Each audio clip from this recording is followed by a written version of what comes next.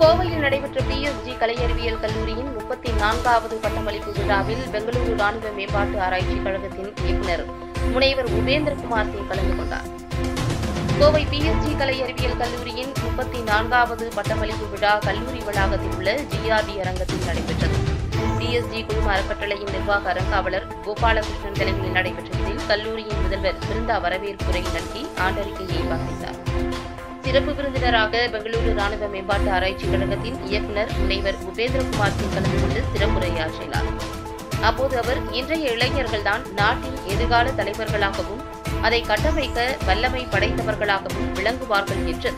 பல அறிவார்ந்த திறன் படைத்த ஆளுமைகளை கொண்ட இந்தியர்களின் கண்டுபிடிப்புகள் நாம் வாழும் உலகை கட்டமைத்துள்ளதாகவும் சுட்டிக்காட்டினார். மேலும் நெருக்கடியான காலத்தையும் சவால்களையும் எவ்வாறு கையாள்வது என்பதை கொரோனா பெருந்தொற்று நமக்கு கற்றுக் கொடுத்துள்ளது.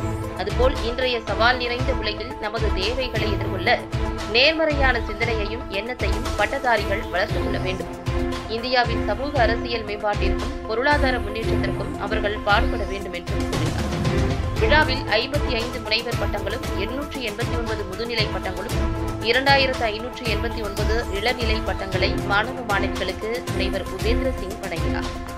தொடர்ந்து நடைபெற்ற விழாவில் இப்ரோ நிறுவனத்தின் இந்திய அளவிலான கல்லூரி வளாக பணியமர்த்தல் பிரிவின் தலைவர் ராதிகா ரவி முதல் மதிப்பெண்கள் பெற்ற நூற்று பதினேழு மாணவ மாணவிகளுக்கு பதக்கங்களையும் சான்றிதழ்களையும் வழங்கி சிறப்பித்தார். நிகழ்ச்சியில் பிஎஸ்ஜி கல்வி நிறுவனங்களின் பல்வேறு ஆட்சிக்குழு உறுப்பினர்கள் துறை தலைவர்கள் பேராசிரியர்கள் அலுவலக பணியாளர்கள் பெற்றோர்கள் உட்பட பலர் கலந்து கொண்டனர்.